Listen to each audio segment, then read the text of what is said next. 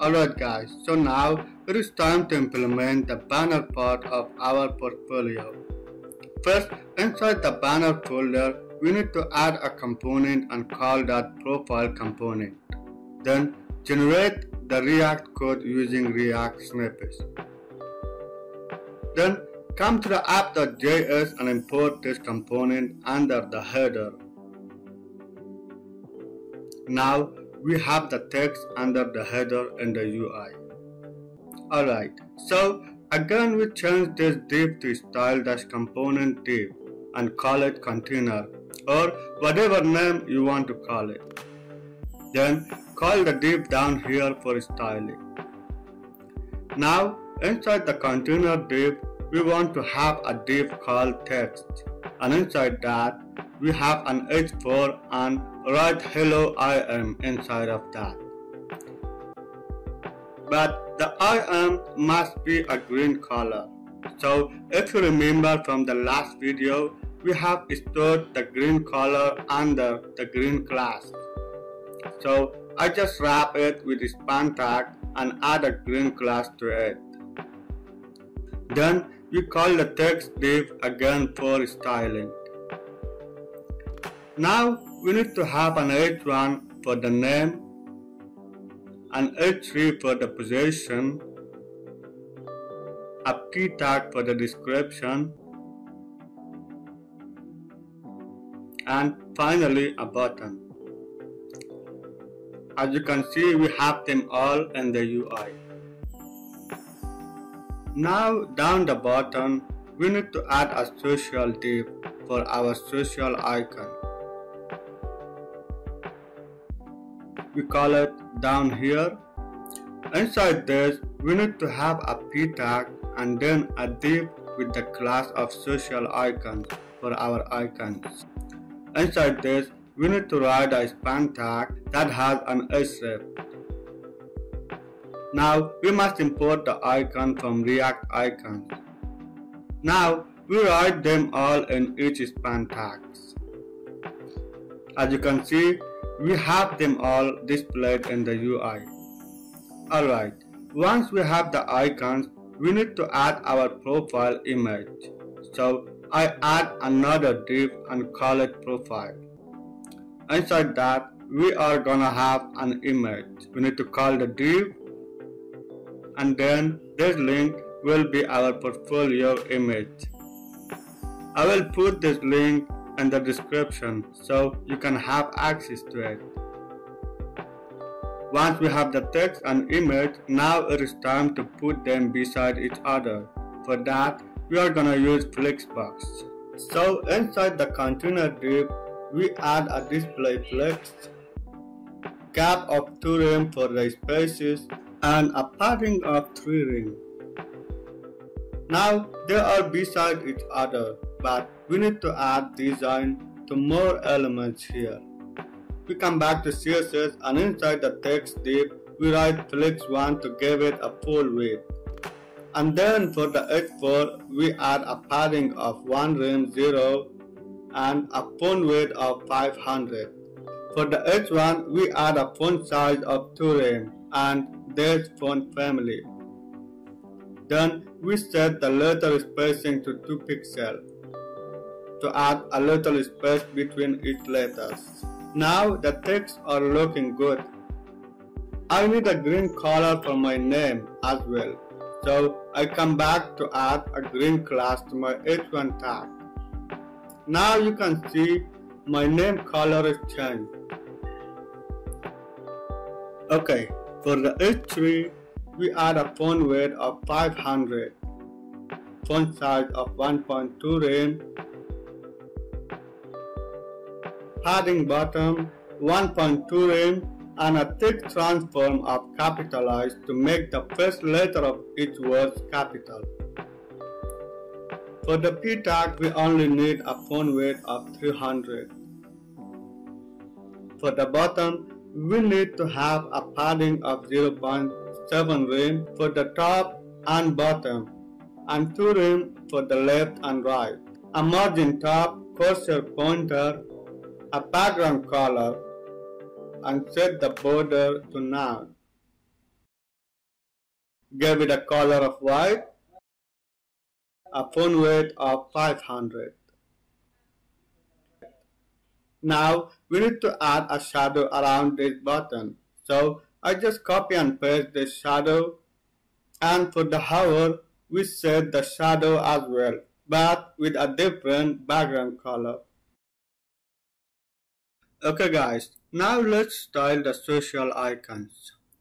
So I come back to CSS and under the social div we add a margin top 3 rem and display flex, align item center and give it a gap of 1 rem.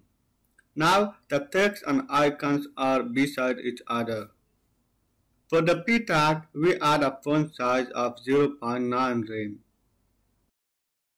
And for the social icons div, we add a display flex, align item center, gap of 1 rem, and for each span that holds the icons, we give a width of 2.3 rems and a height of 2 rem. Now we need to add a clip path to make a shape for each icon.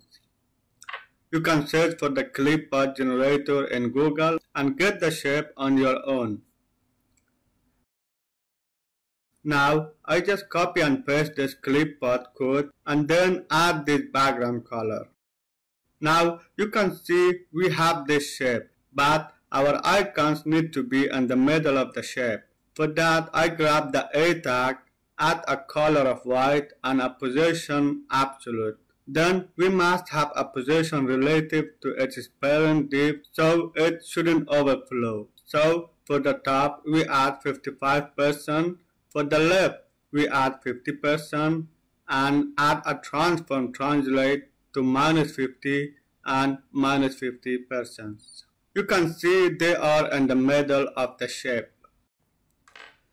Now we need to add a hover animation for each icon.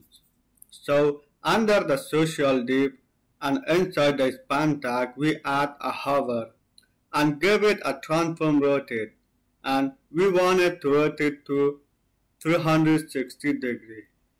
Then add a transition to the span tag for animating smoothly. You can see the icons are animating so smoothly. Alright, now it is time to style the profile image. So inside the profile div, we grab the image tag and give it a weight of 25 rem.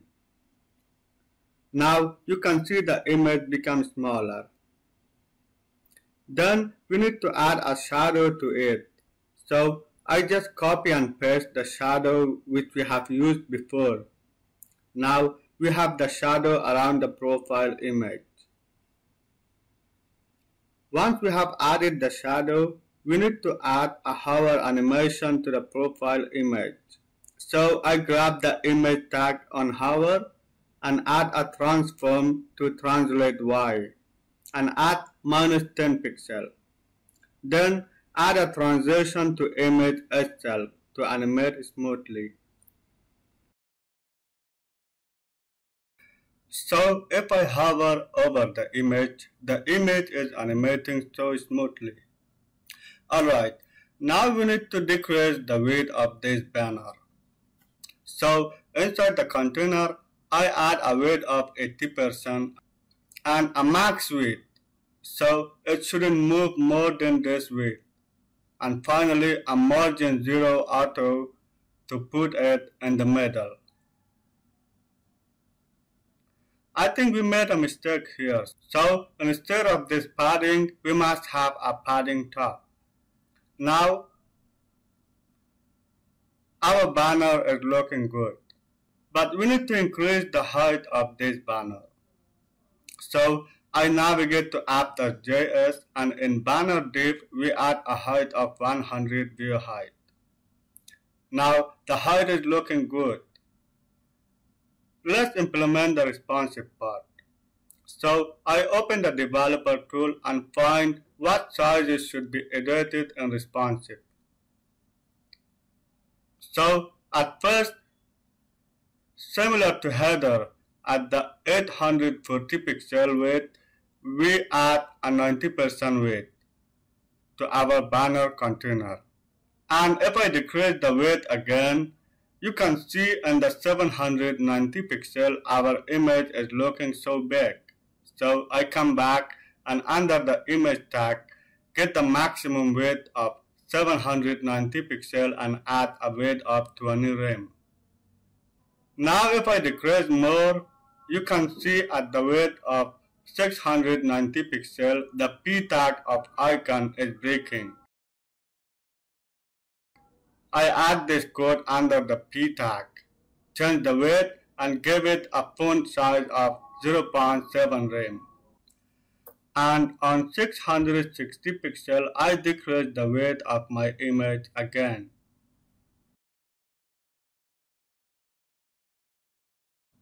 Now on 640 pixel, we change the flex direction to column to put them on top of each other. For the profile image on 640 pixel, we need to add a width of 100%, so it takes the whole space. Alright, now it's looking really good, but it's not scrolling down. So to fix it, we go back to app.js and on 640 pixel, we add height of 100% and a padding bottom of 1 rem. Now you can see I can scroll to the end of this banner. Alright guys, now we have a responsive banner.